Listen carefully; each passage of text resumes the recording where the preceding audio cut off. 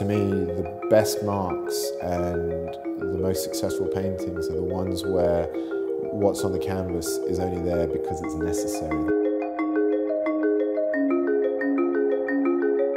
This is the architect's house, um, which is probably the key, or at least the gateway into the rest of the series, because it's the one image that's explicitly of crew as well as a moment of narrative. And the realization that the characters, and in this case the two characters that, that get repeated elsewhere, are part of a film set. And you realize that the whole series then is part of the same project. The eponymous architect has been found dead in his beautiful John Lautner style house, and uh, his wife is being interviewed by detectives and the forensics are there photographing him. But the moment is actually uh, a failure within that narrative. It's the moment where the actor starts corpsing, the corpse corpses, and the performers around him also burst into laughter. I was fascinated with the idea of someone who's so integral to the structure and the infrastructure of a city being at the heart of uh, its, its, its demise or its, uh, its, its breakdown. The, the house itself um, was uh, a 1 to 20 scale model, which all of the models tend to be. We, we make far more than we probably need to in terms of props sometimes, and we make them in far more detail than we sometimes need to, but it's nice to have that detail there, just in case something ends up catching the light or doing something and um, it's one of the things I'm always saying in the studio is, oh, it'd be fine, it's only going to end up being a blip of paint.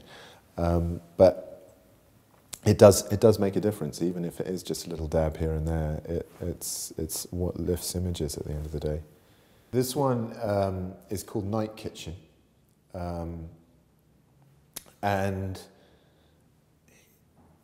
is the least disastrous in a sense of the whole series, but perhaps probably the most. Um, in the sense that none of them allude to what the disaster might be, except within this image we have a little boy under the table who's playing with his dinosaur and Lego and toy soldiers and cars and reenacting his own fictional disaster.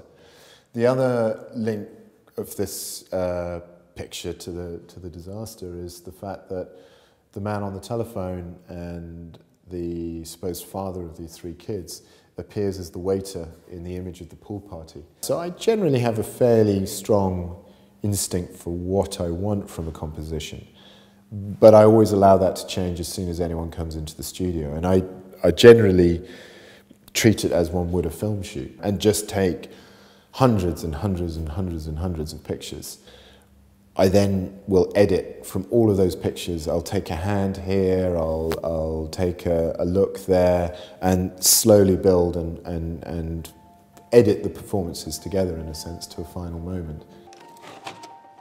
Quite often, I get described as a photorealist, which I'm, I'm not in any way, shape, or form. Um, I would happily, would happily do all of these things from, from from life if it were necessary. But ultimately, it's not really about my relationship with the people in that kind of direct way. At the end of the day, uh, I, I, remove as much as I possibly can or edit out from pictures because cameras see more than your eye does. There is still a huge degree of suspicion over the kind of grand scale realist paintings that I make. Um, the essential reason that I stopped painting um, age 19 or whatever it was, and I didn't start, I didn't make another oil painting on canvas until I was 32. So the reason for that hiatus was the belief that it wasn't possible, that painting of this kind is and always will be an anachronism. And it took me a long time to realize that actually its very obsolescence is what gives it its role now. It's what makes it uh, very exciting.